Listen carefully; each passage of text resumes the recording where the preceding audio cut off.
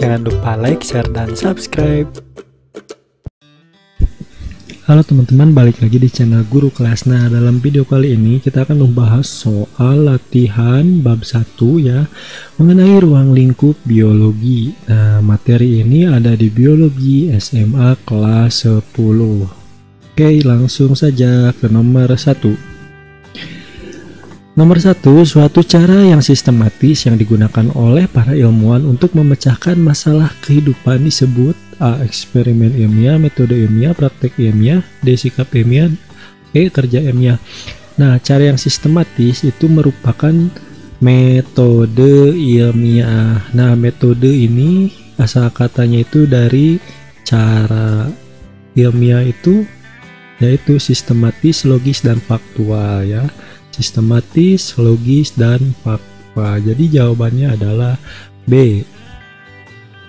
Kemudian nomor 2, langkah awal yang ditempuh dalam melakukan penelitian adalah langkah awal ya. Nah, jadi untuk langkah awal penelitian itu kalian itu harus merumuskan dulu masalah ya sebelum kalian mengujinya gitu. Jadi apakah awal yang harus ditempuh yaitu merumuskan masalah? Jawabannya adalah D. Nomor 3, langkah-langkah melakukan penelitian yang benar adalah jadi yang awal yang harus dilakukan itu adalah masalah M ya kita disimbolkan merumuskan masalah kemudian kita berhipotesis berhipotesis itu menduga ya dugaan sementara kemudian melakukan sebuah percobaan atau yang disebut dengan eksperimen kemudian kita mendapatkan sebuah kesimpulan nah dilihat ya di jawabannya ada masalah hipotesis, eksperimen, dan kesimpulan. Jadi jawaban yang benar adalah B. Lanjut ke nomor 4. Dalam penelitian, nah, eksperimen dilakukan untuk menguji ya. Eksperimen ini, percobaan ini dilakukan untuk menguji apa? Apakah untuk menguji rumusan masalah? Bukan. Menguji pengumpulan data? Bukan pengumpulan data ini setelah melakukan eksperimen ya. Kemudian latar belakang bukan, kesimpulan bukan. Nah, jadi dalam penelitian eksperimen dilakukan untuk menguji sebuah dugaan sementara atau yang disebut dengan hipotesis. Lanjut ke nomor 5. Kegiatan observasi meliputi hal-hal berikut ini. Observasi itu melakukan pengamatannya Nah, kecuali ini ada kecuali, ada memikirkan, mengecap, membau, meraba, melihat. Mengecap merupakan sebuah pengamatan menggunakan indera yaitu lidah. Membau juga sama dengan hidung, meraba melalui kulit, kemudian melihat melalui mata. Nah, ya, kecuali kan di sini ya berarti yang bukan kegiatan observasi itu yaitu memikirkan karena tidak ada pengamatan. Lanjut ke nomor 6, sikap ilmiah yang harus dimiliki oleh seorang peneliti biologi adalah berorientasi pada materi, rasa ingin tahu, memihak, subjektif, objektif. Subjektif ini bukannya harusnya objektif gitu. Berorientasi pada materi ini bisa ya, tapi bukan yang harus nih, rasa ya, sikap bukan sikap di mana sikap ini harus memiliki ya seorang peneliti itu memiliki rasa ingin tahu yang tinggi gitu untuk memecahkan suatu masalah. Jadi jawabannya adalah B. Lanjut ke nomor 7, seorang siswa melakukan percobaan untuk menguji pengaruh pemberian pupuk. Nah, di sini ada pengaruh pemberian pupuk urea terhadap pertumbuhan tanaman cabai. Berdasarkan hal tersebut, nah variabel bebas dari percobaan tersebut adalah Nih, kalian harus ingat bahwa variabel bebas dalam penelitian itu variabel yang mempengaruhi, sedangkan variabel terikat yaitu variabel yang dipengaruhi. Nah, jadi gini. Contoh, di sini ada judul pengaruh pemberian pupuk urea terhadap pertumbuhan tanaman cabai. Jadi manakah variabel bebas? Variabel bebas yang variabel bebas itu yang mempengaruhi. Jadi yang mempengaruhi si tanaman cabai apa?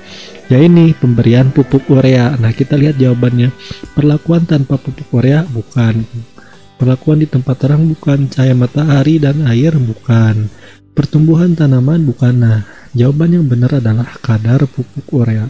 Jadi variabel bebasnya itu yang mempengaruhi si pertumbuhan tanaman cabai itu yaitu adalah kadar pupuk ureanya tersebut. Itu. Sedangkan variabel terikatnya yang dipengaruhinya itu yaitu pertumbuhan tanaman cabainya. Itu. Jadi jawabannya adalah E. Lanjut ke nomor 8 maksud variabel terikat. Nah dalam penelitian adalah nah ini ingat tadi ya variabel bebas yaitu variabel yang mempengaruhi sedangkan variabel terikat yaitu variabel yang dipengaruhi Nah, jadi yang dipengaruhi itu apa? Itu A. Variabel yang diberi perlakuan, B. Jenis perlakuan yang diberikan, C. Variabel pengganggu, ini bukan tentu variabel pendukung, variabel penguji. Nah, jadi jawaban yang tepat adalah variabel yang diberi perlakuan. Nah, jadi yang diperlakukan atau yang dipengaruhi ya, ini hampir sama dipengaruhi dan diperlakukan. Nah, yang mem melaku memperlakukannya siapa? Yaitu si variabel bebas. Jadi jawabannya A yaitu variabel yang diberi perlakuan. Lanjut nomor 9 penelitian yang bertujuan menguji suatu objek. Nah menguji ya menguji dengan memberikan perlakuan pada objek nah perlakuan nah merupakan jenis penelitian apa A pengembangan B eksperimen studi kasus deskriptif verifikatif. Verifikatif itu untuk untuk menguji penelitian sudah ada deskriptif itu secara secara deskripsi ya mengumpulkan dari sumber-sumber terpercaya ya. Studi kasus bukan pengembangan juga bukan. Pengembangan ini menghasilkan suatu produk nantinya. Nah inilah dia ya penelitian yang menguji itu menguji suatu objek itu yaitu eksperimen karena kita bereksperimen menguji suatu objek dengan memberikan perlakuan gitu jawabannya adalah B Nomor 10 penelitian yang dilakukan untuk menguji kebenaran. Nah, di sini ada kita garis bawahi menguji kebenaran penelitian yang pernah dilakukan sebelumnya merupakan jenis penelitian eksperimen bukan yaitu untuk menguji suatu objek. Studi kasus bukan, deskriptif juga bukan, pengembangan juga bukan. Nah, untuk menguji kebenaran penelitian yang pernah dilakukan sebelumnya dan menguatkan si penelitian yang terdahulu, Nah, maka penelitiannya disebut penelitian secara verifikatif gitu. Jawabannya adalah E. Lanjut nomor 11, pengembangan pengetahuan biologi. Nah, dapat dilakukan secara terus-menerus dengan syarat. Syaratnya apa? Jadi di dalam biologi itu ada syarat-syarat. Jika kalian melakukan penelitian secara berkelanjutan itu yang pertama Nah, ini jawabannya langsung saja ya tidak melanggar norma-norma manusia, norma alam, dan lain-lain, norma sains dan agama.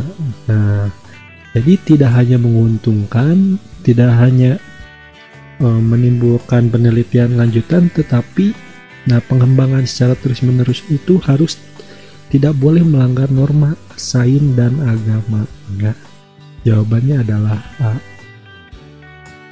Nomor 12, seorang ahli biologi Ronald Ross mampu menepis mitos yang berkembang di masyarakat Yunani bahwa penyebab penyakit malaria disebabkan oleh gas yang dihasilkan dari wilayah rawa. Berdasarkan hasil penelitiannya tersebut diketahui bahwa penyebab penyakit malaria adalah Nah, penyakit malaria ini ya dibawa sebetulnya bukan dari ini. Mitosnya itu dihasilkan oleh gas di wilayah rawa tetapi Penyakit malaria ini ditimbulkan oleh gigitan nyamuk Anopheles betina yang membawa membawa mikroba yaitu yang dinamakan dengan Plasmodium falciparum di mana nyamuk Anopheles betina ini sebagai si nyamuk itu sebagai inangnya kemudian menggigit kemudian menularkan si mikroba bakteri Plasmodium ini ke manusia sehingga timbullah penyakit malaria. Jadi jawabannya A. 13. Cabang ilmu biologi yang mempelajari mengenai penyakit dan pencegahannya adalah A. Anatomi fisiologi.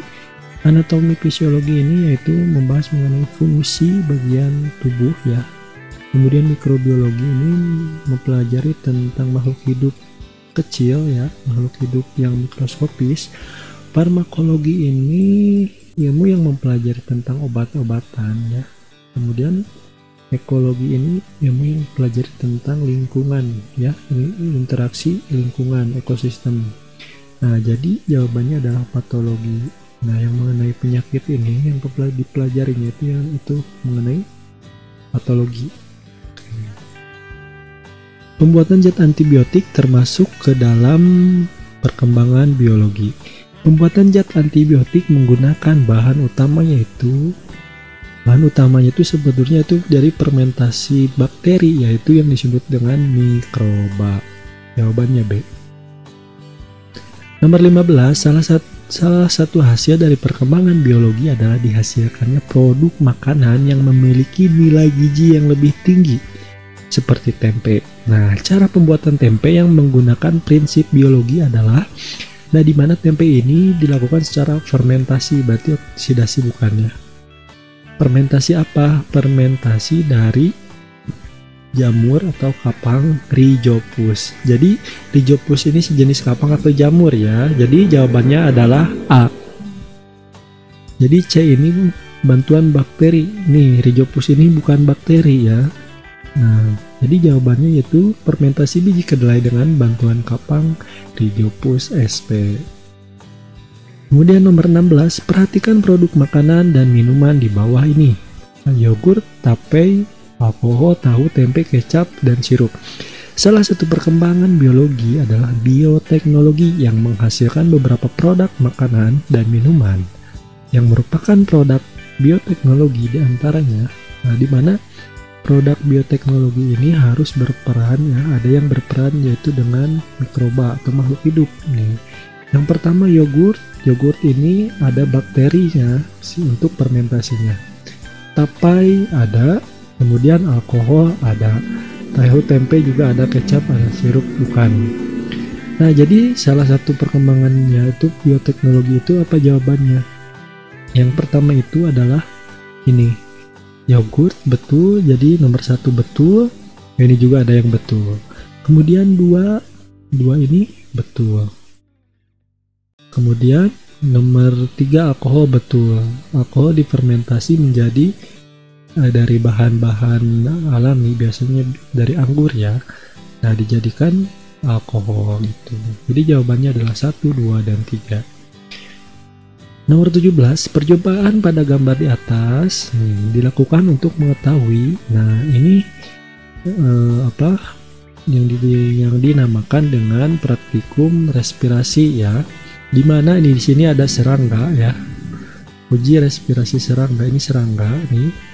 Ini ada larutan KOH di sini, kemudian ada jangkrik, kemudian ada EOC yang di mana KOH ini berfungsi untuk mengikat CO2. Kemudian si eosin ini sebagai indikator perubahan si respirasi ini pada tabung ini ya, pada tabung ini. Nah, jadi percobaan di atas ini mengetahui apa? Yaitu mengetahui kecepatan atau respirasi pada jangkrik. Ya, kecepatan respirasi pada jangkrik itu. Jadi jawabannya adalah E.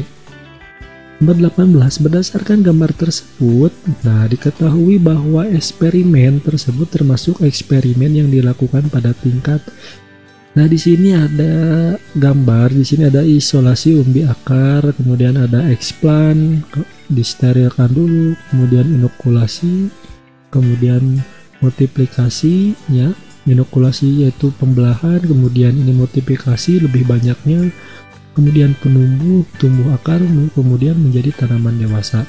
Nah, di mana di sini ini pada tingkat apa? Nah, ini dia yang disebut dengan kultur jaringan, di mana ini dilakukan pada tingkat jaringan. Namanya namanya saja sudah kultur jaringan.